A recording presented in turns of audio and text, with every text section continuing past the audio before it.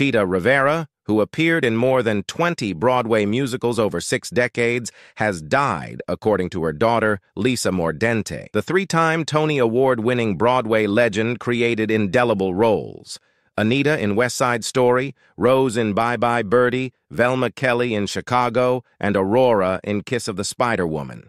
She was 91.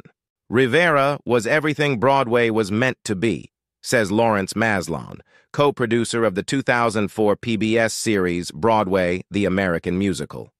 She was spontaneous and compelling and talented as hell for decades and decades on Broadway. Once you saw her, you never forgot her.